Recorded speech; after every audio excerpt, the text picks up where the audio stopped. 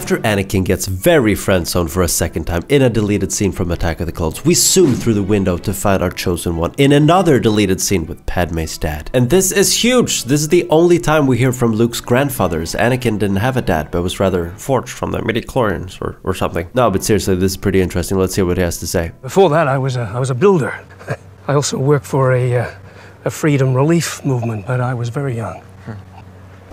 Okay, it wasn't very interesting. Anakin even goes, That's the universal sound effect for cool story, bro. But there's more. So tell me, son, how serious is this thing? Well, I don't know how serious it is from her side. I'm getting mixed signals. How much danger is my daughter really in? Oh, oh, yeah, oh yes, of course. There have been two attempts on her life. Chances are there will be more. How do you know that? Let's just say I have classified intel. I don't want anything to happen to her.